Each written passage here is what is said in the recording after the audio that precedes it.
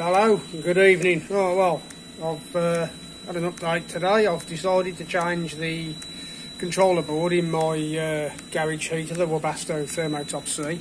What I've done is I've put this aftermarket uh, unit in because it just cuts all the confusion, all the problems of wiring. If you get one of these then it's as simple as cake. What you got? Well with this one, it is 1 is the controller, which is that white one there. That one there is the controller. That one there, the red one, is your switched output which goes to your fuel pump. And this yellow one that's cut here, what that is, that's um, the control of the fan that comes on at about 40 degrees centigrade. As you can see, this one's got lots of little flashy lights in it, look, isn't that pretty? You've got that orange one down there in the bottom left hand corner, that's each time the fuel pump's pulsing, as to say what it's pulsing. There's a red one over there, which comes on, which shows you when your glow plug's on. Of course, with these, once up to temperature, the glow plug goes off anyway. So, right, that's that's the new one that I've replaced. Um, yeah, so Norx, Norx Electronics, they sell these on eBay.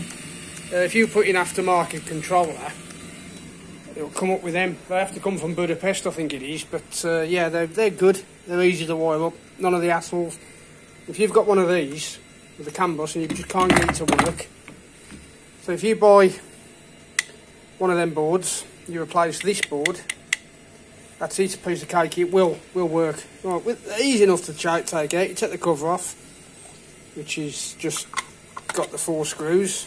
One, two, three, four normally you'll find when you try and undo these, they snap. It's just part and parcel of use. They go rusty and that's they get stuck. Then all you got to do is pull these wires off there. They just pull out. That one's your motor for that there. That one controls the heater plug. That there's another little uh, screw just there. Undo that. Take that out. And then that just lifts away as a unit.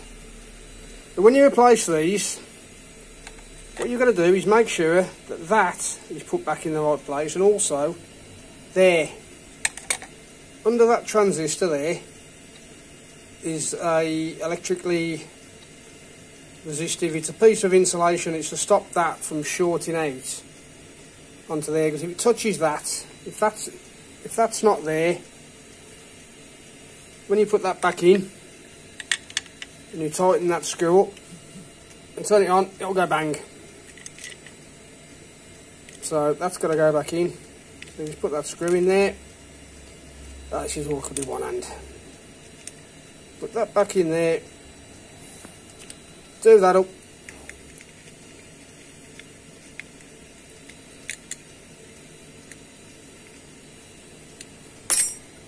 Put these back in. You got uh, that one.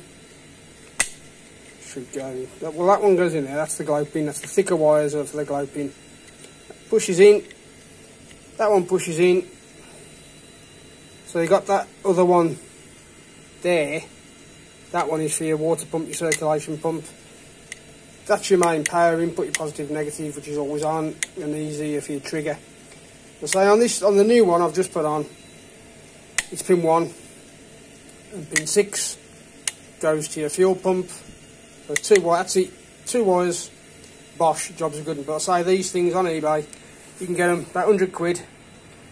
Um, I'll try and find a link and put the link into the eBay seller on the below the video so you can uh, go and have a look yourself but they are worth it because say if you've got one of these that's CAN bus controlled or you cannot get this to work or if this is blown up rather than buy yourself a new heater buy a new board.